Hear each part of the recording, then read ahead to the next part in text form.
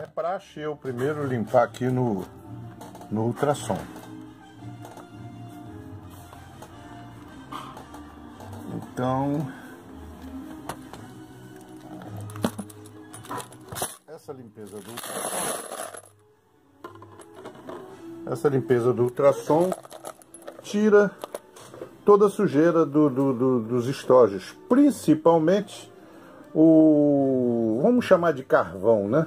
Aquela parte carbonizada que fica no seu interior, dentro da espoleta, etc. Essa é a melhor função do ultrassom. Mas o estojo fica queimado, fica feio. E aí, para dar brilho, para dar brilho, aí usamos o rola-rola.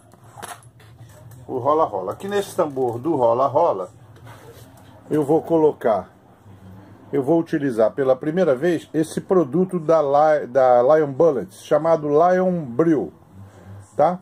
Então, 50 ml aqui diz de Lion Brill. Tá aqui neste copo marcador, temos 50 ml do produto e mais 1 litro e 25 de água. Vou colocar dentro do tambor junto com estojos e ligar o rola-rola por 40 minutos. Vou deixar por uma hora. Ele diz 40 minutos no rótulo, mas eu gosto sempre de passar um pouquinho.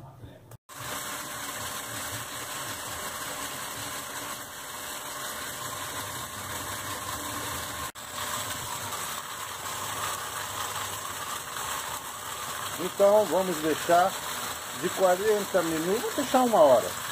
Uma hora no rola-rola.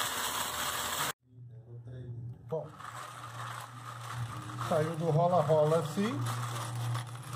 Agora eu vou enxaguar, mas pode ver que eles estão brilhando, maravilhosos. Realmente o produto é excelente, recomendo.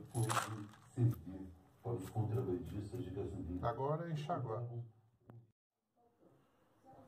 Então, resolvido, o produto de sucesso chama-se Lion Brew, da conhecida Lion Bullets.